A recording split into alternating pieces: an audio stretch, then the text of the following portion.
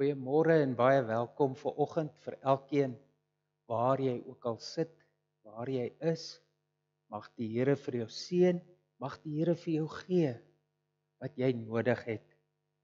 Die Here weet wat ons nodig het en daarom sal hy dit vir ons gee. Omdat hy is baie baie lief vir ons. En nou kan ons stil word en ons wil sê namens die dowe familiekerk baie baie welkom. Welkom hier saam met die uitsending, die streaming. Baie baie welkom. Ons is bly dat u saam met ons is. Nou kan ons fokus op God en op stil wees saam hierdie tyd saam met hom sit. Kom ons fokus op die Here.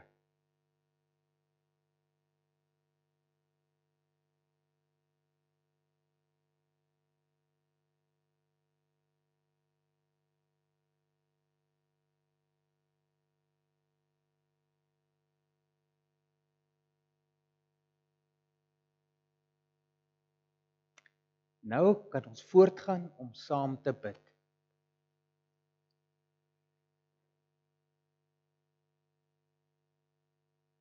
Die Here Jesus Christus wil sê vir elkeen: Welkom hier saam waar jy ook al sit. En nou gaan ons saam bid. Here Jesus, ons aanbid U as die Here wat in u teenwoordigheid saam met ons elkeen is. Ons wil nou stil word en saam met al u kinders wat saam rondom u woord saam is. Daar in die sitkamer, daar waar ons ook al kyk op selfoon of in die sitkamer, bank of in die eetkamer of waar ons ook al kyk, wil ons saam sit en saam vir U loof en prys. Wil asseblief nou met ons wees. Wil U met ons praat deur U woord. Ons bid seën vir ons saam in Jesus se naam. Amen.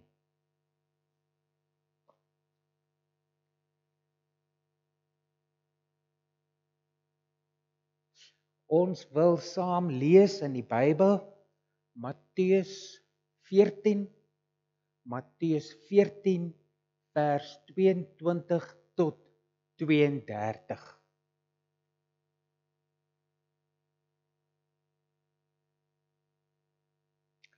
Daarna het Jesus vir sy disippels gesê: "Hulle moet dadelik in die boot klim en voor hom na die ander kant van die see, die see van Galilea gaan. Jesus wou eers vir die mense sê, wie watter mense? Die mense wat saam met hom Daardie mense wou hy eers sê, gaan huis toe. Toe Jesus dit klaar gesê het, toe het hy op die berg geklim en daar alleen in die donker nag saam met God die Vader sit en gebid. Hy Jesus was daar alleen. Die boot waarin die disippels was was ver van die land, die kus land was ver van die land af. Die branders en die wind het die boot rond geskommel want die wind was van voor en het gedruk die boot en het gewaai. Volgende vroeg die volgende oggend voordat dit lig word toe het Jesus na sy disippels toe gekom. Jesus het op die see geloop. Toe sy disippels hom op die water sien, het hulle gedink dis 'n spook. Hulle was baie bang. En hulle het geskreeu. Jesus het dadelik met hulle in die boot gepraat. Jesus het vir hulle gesê: "Toe maar dis ek. Moenie bang wees nie." Verder Petrus wat in die boot was, sê toe vir Jesus: "Here, as dit U is wat loop, U moet U vir my sê ek moet op die water loop." Jesus sê vir Petrus: "Kom." Petrus het uit die boot geklim en toe hy op die water geloop het, het hy na Jesus toe gegaan. Maar toe Petrus die branders die wind wat sterk was gesien het, het hy bang geword, het hy geskreeu: Here, red my! Jesus het dadelik sy hand gevat, uitgesteek, hom gegryp, gesê: "Hoekom jou geloof so min? Hoekom jy twyfel begin?" Hulle in die boot het vir Jesus en Petrus ontvang in die boot want Jesus het in die boot geklim en die wind opgehou. Die mense in die boot het gesê: "Wie is hy?" Hulle het gekniel en gesê: "Waarlik, U is die seun van God." Ons lees tot daar. vriende, familie, broer en suster. Baie mense vra wanneer begin die kerk weer? Ek wens ons kan weer terug in die kerk by mekaar.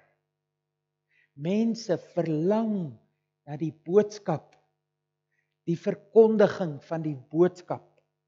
Baie mense verlang om saam met ander kinders van die Here by mekaar te wees. Ons verlang 6 7 maande nog nie weer terug kerk toe. Dit is baie belangrik, ja. Maar wie is die kerk? Wie is die kerk? Die kerk is dit gebou waar ons weer moet teruggaan? Nee, almal weet die kerk is die mense, dis ons. Dis jy en ek wat glo in Jesus. Maar nou is die vraag: Wie is Jesus vir jou? Wie is Jesus wat kan op die water loop? Wie is hy? En wat is die boodskap vir ons in die kerk? Wie wat oe, ons het so deur mekaar tyd afgelope 7 maande. Die 7 maande ons sit by die huis winkel toe, ons moet masker dra, baie baie vreemde tyd. Wie is Jesus in die tyd soos nou?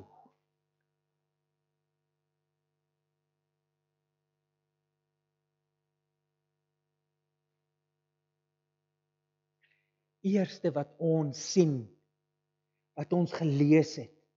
Wie is Jesus en wie is sy kerk? Hierdie Jesus is mens, maar ook God. Maar as mens het hy gegaan alleen.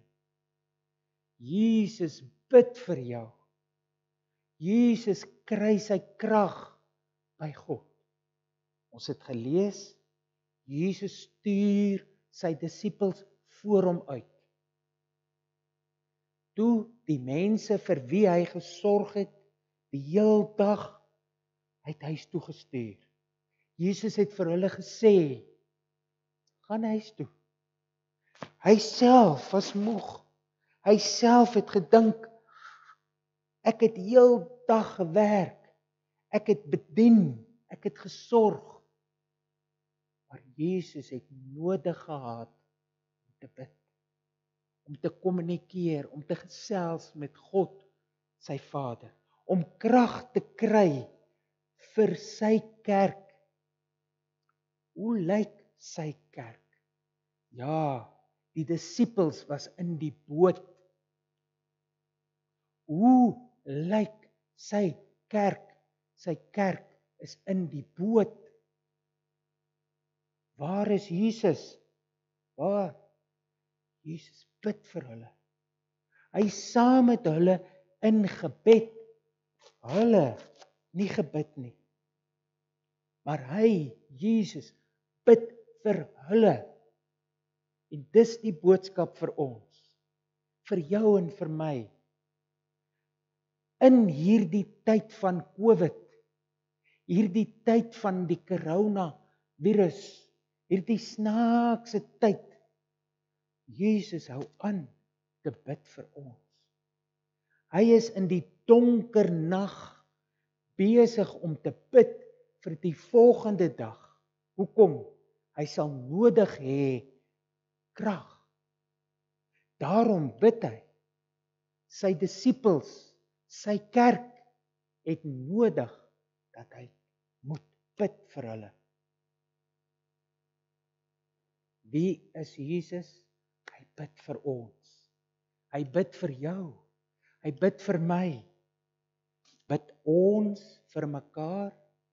Is ons 'n kerk wat bid? Is ons 'n kerk wat stry bid?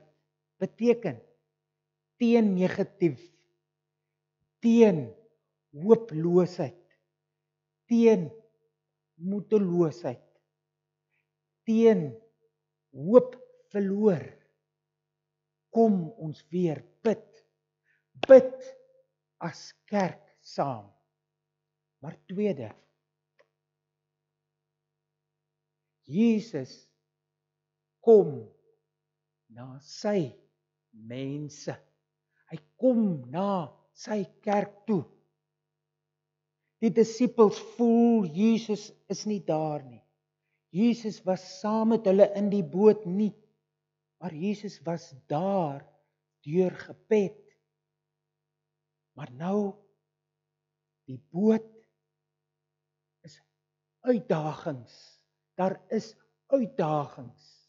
Die uitdagings is die see en die wind en die branders.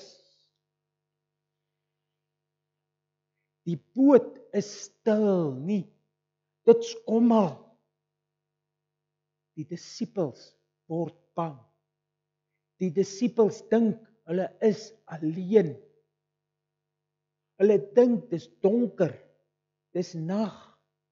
Ja, die Bybel sê was so omtrent tyd 3 uur, 6 uur oggend. Dit was nag, middernag. En die kerk, die disippels was alleen. Maar kyk die mooi woorde. Die mooi woorde sê vroeg die oggend toe dit nog donker was. Jesus het gekom na hulle in die boot. Jesus los sy kerk nooit alleen. Miskien die kerk dink Wat nou? Wat nou? Wat nou? Ons word bang. In die Bybelse tyd, die see en die wind gewys bose bose krag. Krag wat kan jou boot omgooi en jou dood veroorsaak. Die disippels het gedink die see en die wind en die branders gaan hulle dood veroorsaak. Maar Jesus loop na hulle toe. Dis die hoop. Jesus kom na sy kerk toe. Maar sien die kerk duidelik? Nee. Hulle word bang. Hulle dink dis 'n spook. Die kerk, die disippels sien hom duidelik. Hulle sê spook.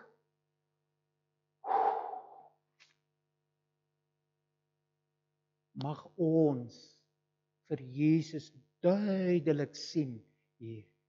Ja, ek weet jy sê vir my, hoe sien ek Jesus duidelik? Wanneer ons tyd saam met Jesus het. Wanneer ons bid. Wanneer ons vra vir wysheid. Wanneer ons bid en sê Here, omstandighede teen ons. Die kerk se finansies geld af af af die hoop, die toekoms kan ons weer weet Jesus kom na sy kerk toe. Hy los die kerk nie. Jesus loop op die water. Op die omstandighede. Baie keer mense sê vir my as ek vra, "Hoe gaan dit?" Hulle sê onder omstandighede goed. Maar hoekom is jy onder omstandighede? Jesus was bo die omstandighede. Die geheim is dat ons sal leer om bo die omstandighede nogtans te vertrou, te glo en te sien dat Jesus duidelik kom na ons as kerk as gelowige mense. Wat is sy nuwe roeping vir ons in 'n tyd van Covid? Wat roep hy vir ons vir die nuwe fase seisoen van die kerk wat verder jy sê vir my dis maklik maklik jy preek maklik. Jy ken swaar nie. Dan kyk ek die disippels. Ons het gelees hulle sien spook. Tweede, hulle is bang. Nee, baie bang. Hulle is baie bang. En ons sien wat hulle skreeu. Wow!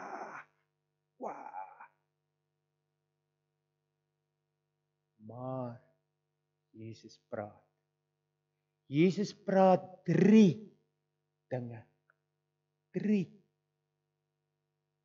Hy sê hou moed of toe maar.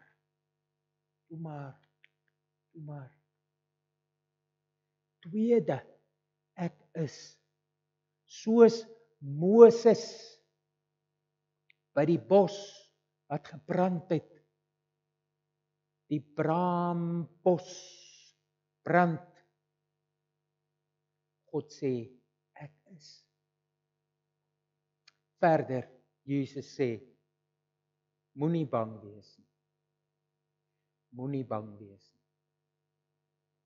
Drie dinge wat Jesus praat met sy kerk ook vandag. Ons het nodig om te hoor. Toe maar moenie bang wees nie. Dit is ek. Dit is ek. Jesus sê, dis ek. Vertrou my. Glo my. Volg my. Wonderlik. Neem daai woord vir jou. Miskien jy het omstandighede deur die week. Jy was in die hof Jy was by jou werk. Omstandighede by die werk is moeilik. Dis swaar. Dis nie maklik nie. Jou persoonlike omstandighede is swaar. Jou familie omstandighede is swaar. Die land Suid-Afrika ekonomie politiek opstande jy word bekommerd hoor vanoggend vandag drie dinge toe maar hou moed.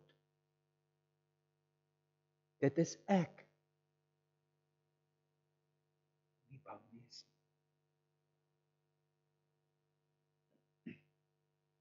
Jesus nooi vir Petrus. Hy sê kom. Petrus sê as dit u is Here, as dit U is. Onthou, die duiwel het gesê, is U die seun van God? As U die seun van God is. Petrus sê dieselfde woorde. As U die seun van God is, sê vir my, ek moet uitklim en na U toe kom soms die kerk moet waag. Moet waag na Jesus toe. Soms ons moet waag wanneer Jesus vir ons sê kom glo volg nie maklik nie maar hy sê kom Petrus loop Petrus probeer self. Maar toe hy kyk, hy vertrou op homself. Toe word hy weer bang en weer roep hy uit, baie bang en hy skreeu: Here, red my. Help my. Red my. Ons sien wat Jesus sy hand uitsteek. Hy red Dis baie mooi. Tref vir my so diep. Die Here sê kom. Ja, ek wil probeer, maar ek huiwer. Maar Jesus sê kom. As ons faal.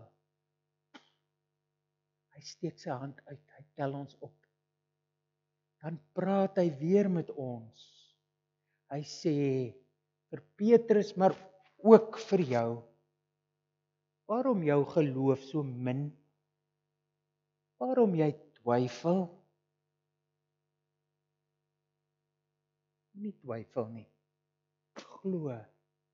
Hy is die helper. Hy is die redder. Hy is die Here. Kom volg hom. Donker op die water geloof lewe moeilik. Beteken dit ek moet op my swembad se water gaan loop? Nee. Dit beteken jou uitdaging kan jy saam met Jesus uitdaag. Jy kan vertrou, jy kan waag verder as jy roep help my help ons sy hulp is daar hy is die helper. Hebreërs 13 sê die Here is my helper. Daarom sê ek wat kan 'n mens aan my doen? Jesus is Here. Kan hom vertrou.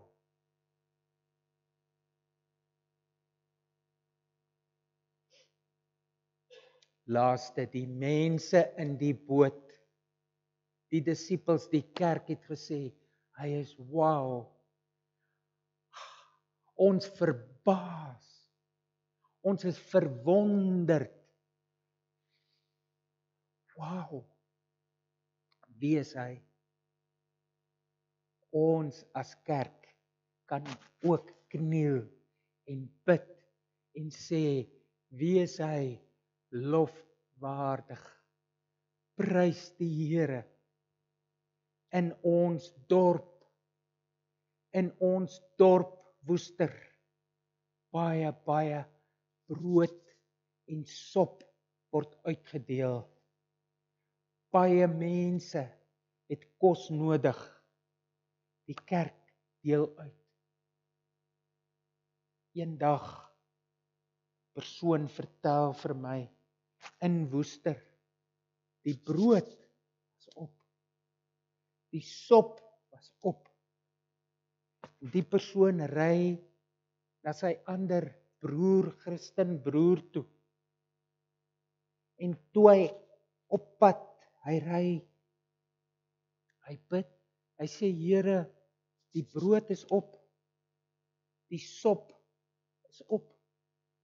Wil u asseblief manna gee uit die hemel? Maar as dit nou ek is wat wil en wens, moenie dit gee nie, maar as dit u wil is, gee asseblief. Amen. Toe ry hy, hy stop, klim uit. Klokkie. Persoon maak oop. Persoon sien, daai persoon se dogter sê: "Oom, kom kyk, Kom kyk, hier is brood genoeg. Dit woester se bakkery. Rolletjies, rolletjies, 100 rolletjies. Wors rolletjies oorgehad gegee. Die man wat op pad is om te ry, nie geweet nie. Toe hy aankom, hy sien die rolletjies is daar voorsien. Wow. God is lofwaardig. Prys hom. Die wind stil. Die branders stil. Hulle lewe is gered. Almal leef. Beteken nie dat ons almal sal lewe. Maar dit beteken as die kerk weer vir hom prys dan sien ons wie is Jesus werklik. Hy is Here oor die bose, die sonde, die stukkend van die lewe. Hy gee vir ons hoop. Hy's lofwaardig. Kom saam met my. Prys hom vir iets wat hy gedoen het in jou lewe. Kom ons saam bid en prys vir hom weer op hierdie dag. Baie mense sê hulle wil weer terug kerk toe. Ek dink ons moet weer terug na Jesus toe. Jesus wat bid vir ons. Jesus wat na ons toe kom. Jesus wat praat met ons. Jesus wat ons red, help Jesus wat Here is. Jesus wat lofwaardig is. Kom ons prys hom saam. Amen.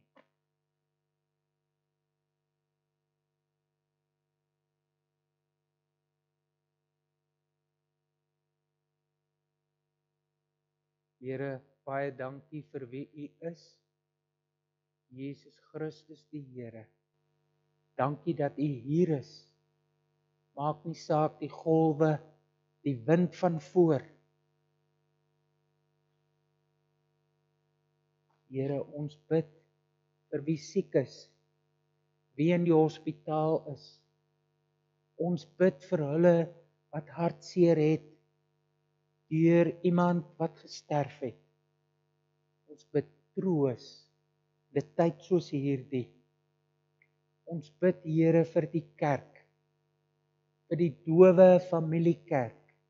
vir die lidmate wat verlang om kerk toe te kom vir die jong mense vir die middeljariges vir die ouer mense ons bid vir almal doof en horend doofblind maar ook in rolstoel ons bid Here wees vandag ons Here en dankie dat u vir ons lofwaardig is.